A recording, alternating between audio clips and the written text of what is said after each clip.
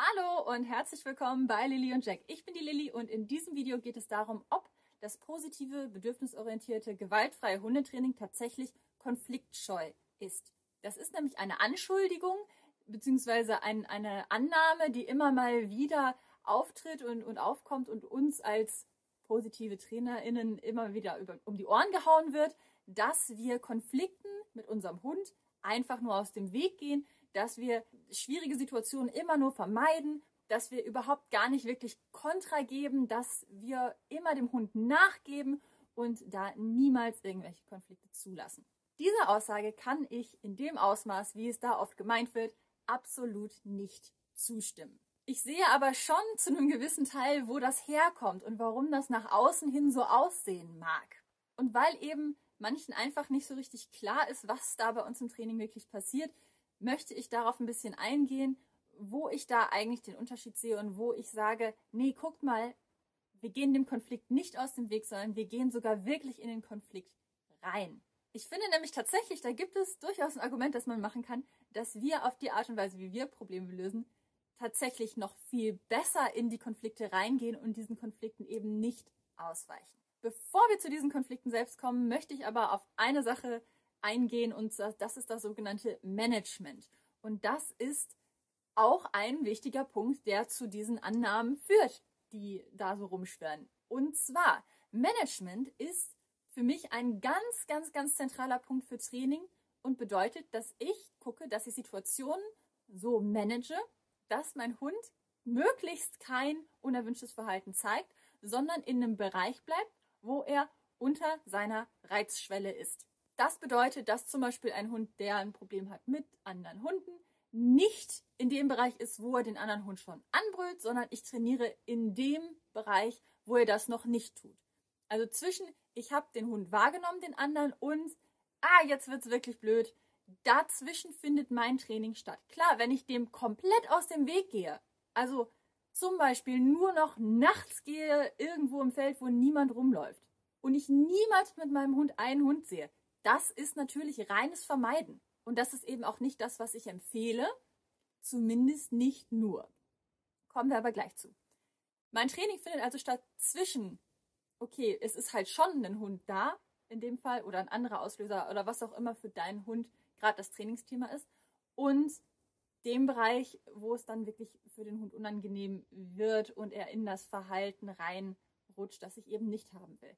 Und eben nicht okay, ich lasse zu dem Konflikt zwischen meinem Hund und zum Beispiel in diesem Beispiel dem anderen Hund kommen und mein Hund hängt in der Leine und da trainiere ich und da gehe ich zusätzlich noch in den Konflikt rein und erzähle meinem Hund dann, dass er das doch zu lassen hat. Das stimmt, dass wir da eben nicht reingehen, so gut es geht. Und das stimmt, dass ich deswegen dann zum Beispiel schaue, dass ich einen Abstand einhalte, dass ich Problemen so weit aus dem Weg gehe, dass es für meinen Hund machbar ist.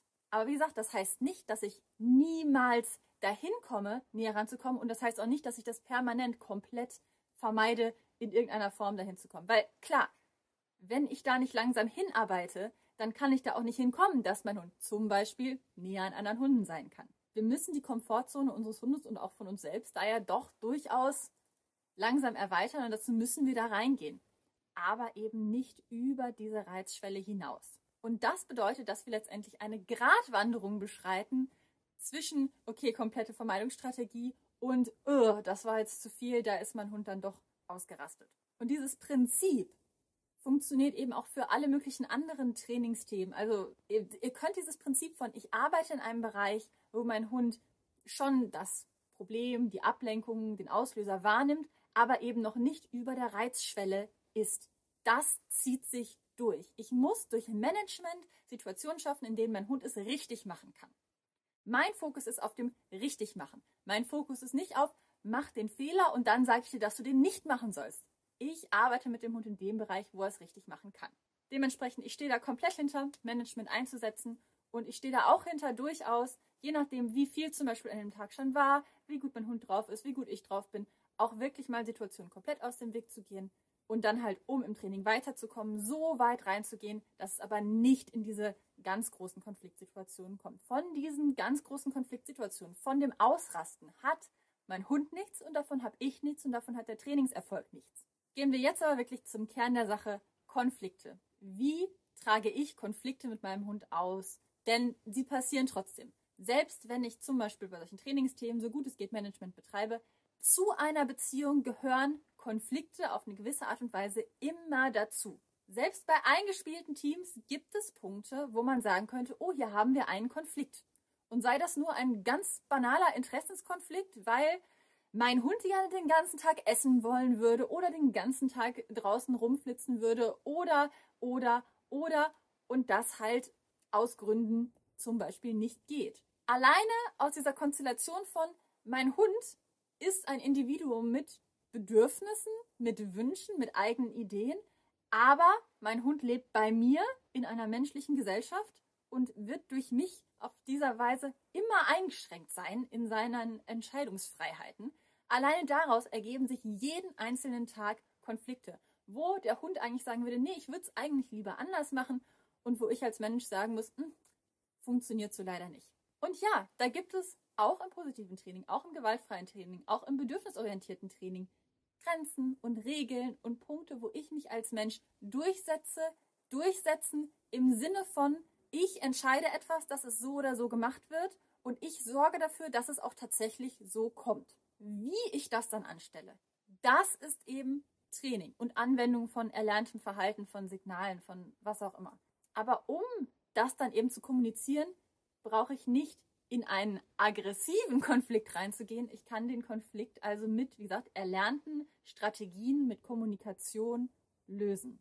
Und das gilt für diese mini kleinen Dinge, sei das nur, mein Hund möchte im Regen noch ewig stehen bleiben und ich möchte das gerade nicht. Mein Hund möchte rechts rum, wir müssen aber jetzt nach links rumgehen. Ups, Konflikt, erlernte Signale können eingesetzt werden. Kein Ding. Konflikt gelöst. Friedlich, harmonisch, unaufgeregt, unspektakulär, aber auch das ist ein Konflikt. Und diesen Konflikten gehe ich nicht aus dem Weg und diese Konflikte, wie gesagt, löse ich. Und ja, da kommen wirklich Konflikte zusammen, wo ich dann auch wirklich sage, nee, ich entscheide, Punkt, und wo ich mich nicht davon abbringen lasse. Was dem allerdings nicht grundsätzlich widerspricht, ist, dass es auch Situationen gibt, wo ich einfach sage, okay, mein Hund kommuniziert mir, ich möchte gerne dies oder jenes. Ich gucke mir das an. Hätte ich jetzt vielleicht von mir aus nicht unbedingt vorgeschlagen, dass wir das so machen, aber wenn ich sage, hey, kein Problem, können wir machen, sehe ich jetzt nichts, was dagegen spricht, dass ich dann dem nachgebe und dass ich dann sage, ja, okay, wenn du das so möchtest, können wir das machen. Also mir bricht da kein Zacken aus der Krone und das ist für mich dann eben auch keine Konfliktscheue, wenn ich einfach nur sage, okay, hey, wir haben kommuniziert, du hast mir kommuniziert, du möchtest rechts rumgehen und ich sage, kein Problem, machen wir. Warum muss ich dann Konflikt aufmachen? Und ich denke, da ist auch oft ein Punkt, an dem Missverständnisse entstehen. Denn ich bin grundsätzlich davon überzeugt, dass mein Hund ein Individuum ist und dieses Individuum auch ein Recht auf seine eigene Meinung hat und dass es unserer Beziehung doch auch durchaus gut tun kann, wenn auch mein Hund mal sagen kann, können wir das nicht so machen. Mir ist halt wichtig, dass es in Situationen, wo das nicht funktioniert, also wo das, was mein Hund gerne machen wollen würde, einfach nicht akzeptabel ist, dass ich da Wege finde, dass es eben nicht so ist und dass mein Hund es so macht, wie ich sage, dass es gesellschaftstauglich ist. Und der andere Punkt ist dann, dass die Art und Weise, wie das kommuniziert wird, ebenso gesellschaftstauglich und auch für unsere Beziehungen zuträglich ist. Das heißt, wenn mein Hund rechtsrum gehen will und mir deswegen ins Bein beißt und mich darüber zieht, dann finde ich das nicht okay. Oder ganz einfach sowas wie, ich lasse mich nicht von meinem Hund an der Leine durch die Gegend ziehen. Das ist für mich eine Art und Weise zu kommunizieren, dass mein Hund da irgendwo hin will. Das verstehe ich. Aber da trainiere ich halt schon dran, damit mein Hund mir dann zeigen kann, durch subtilere Zeichen, durch freundlichere Kommunikation, hey, ich würde gerne da drüben mal schnüffeln gehen, dass ich ihm dann sagen kann, ohne dass er mich ziehen muss, hey, okay, kannst du machen. Und dieses Nachfragen ist ja durchaus auch was, was in anderen Trainingsrichtungen eigentlich das Ziel ist, dass dann gesagt wird, ja, der, der fragt mich, bevor ich ihn losschicke. Ja, und das kann ich eben mit positivem Training erreichen, dass mein Hund das kann. Das setzt aber neben Training auch voraus, dass ich auf kleine Kommunikation achte, dass ich nicht darauf warte, dass der Konflikt eskaliert, dass ich auch nichts dazu tue, dass der Konflikt eskaliert. Denn wenn mein Ziel ist, dass wir leise und fein und freundlich miteinander kommunizieren, dann provoziere ich nicht, dass das Gegenteil passiert. Das ist genauso, wie es mir auch wichtig ist, wenn ich will, dass mein Hund fein und leise und freundlich kommuniziert, dass ich dann nicht genau das Gegenteil mache und eben laut und heftig in alles reingehe. Dann ist es kein Wunder, wenn sich da Sachen aufschaukeln.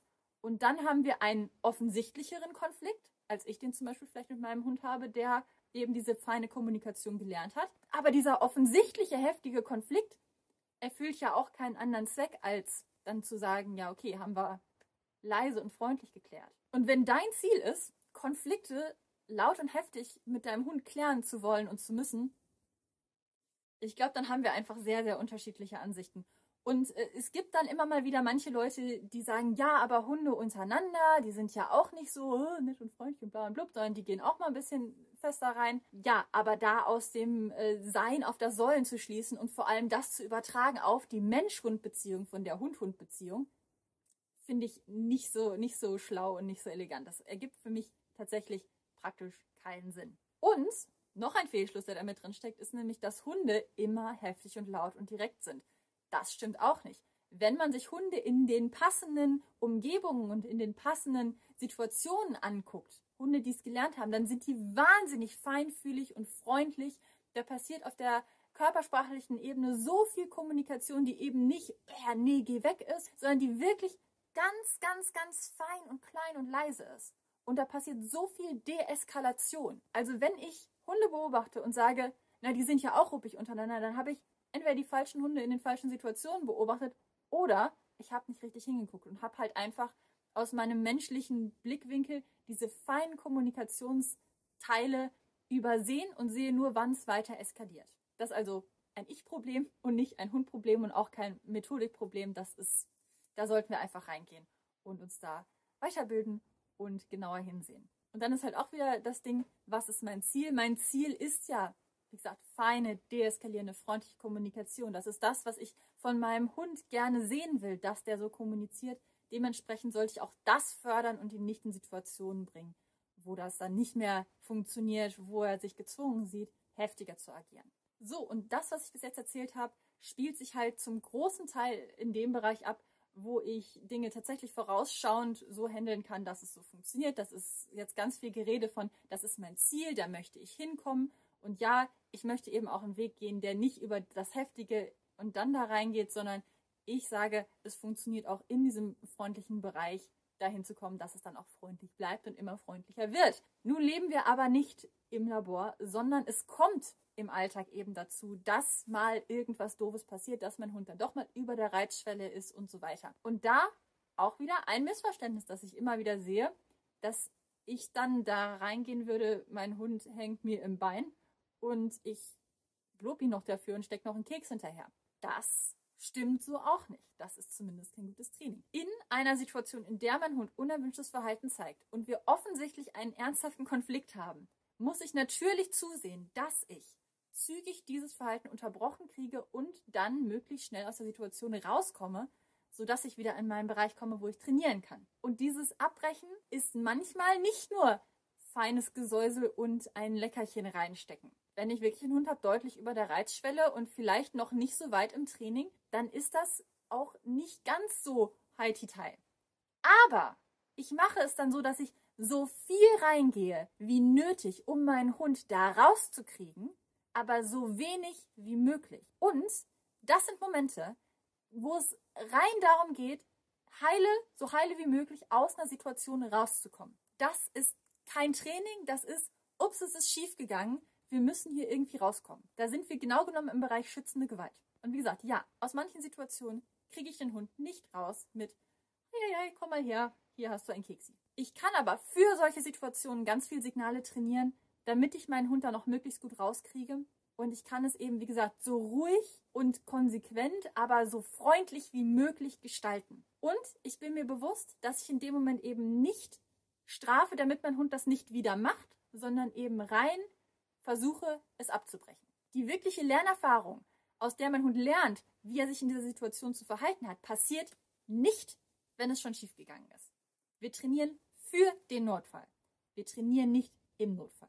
Und dazu kommt, dass selbst in Notfallsituationen, selbst bei eskalierendem Aggressionsverhalten, in ganz vielen Situationen es wirklich nicht förderlich ist, selber mehr reinzugehen, mit mehr Energie, mit mehr Aggression, mit ich versuche dass du jetzt aufhörst, sondern es gibt ganz viele Situationen, wo es im Gegenteil auch wieder die bessere Alternative ist, zu deeskalieren. Und auch da wieder, auch davon lernt mein Hund keinen Mist und auch davon bricht mir kein Zacken aus der Krone, nur weil ich deeskaliere, wenn zum Beispiel mein Hund mich anknurrt. Dann kann ich durchaus sagen, okay, hey, wir brauchen uns hier nicht weiter zu streiten.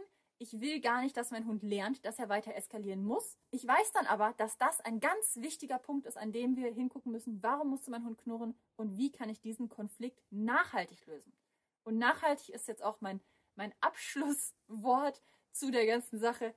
Ich möchte Konflikte nachhaltig lösen und das bedeutet, dass ich immer, immer, immer darauf hin trainiere, dass ich zumindest diese größeren Konflikte, die nicht einfach aus dem Alltag und wir haben unterschiedliche Meinungen ergeben, sondern wirklich einfach grundsätzlich sind und problematisch sind, die will ich so lösen, dass dieser Konflikt zumindest in der Stärke nicht mehr entsteht. Und das ist für mich auch nicht konfliktscheu, sondern es ist einfach ganz natürlich, dass ich in meinem Alltag mich nicht ständig mit meinem Hund anlegen will. Auch da wieder, wenn du das anders siehst und dich gerne mit deinem Hund anlegst, okay, wie du es meinst, aber ich, ich sehe es halt nicht so. Und das gilt für mich für alle Arten von Beziehungen, die ich habe. Ja, bestimmte Arten von Konflikten gehören dazu und bestimmte größere Probleme, die wir vielleicht miteinander haben, müssen wirklich geklärt werden, aber eben freundlich, nachhaltig und in einem Bereich, wo es uns allen dabei möglichst gut geht. Ich hoffe, damit ist ein bisschen klarer geworden, wie ich zu dem Thema Konflikte stehe. Wenn du dazu noch eine gezielte Frage hast, dann schreib mir die gerne in die Kommentare und wenn du noch mehr von mir sehen, hören, lesen möchtest, wenn du noch mehr achtsames, bedürfnisorientiertes, gewaltfreies Hundetraining haben möchtest, dann guck dir doch gerne mal den Lilly und Jack Club an. Der ist in der Beschreibung verlinkt. Vielen Dank fürs Zuschauen und wir sehen uns im nächsten Video wieder. Ciao!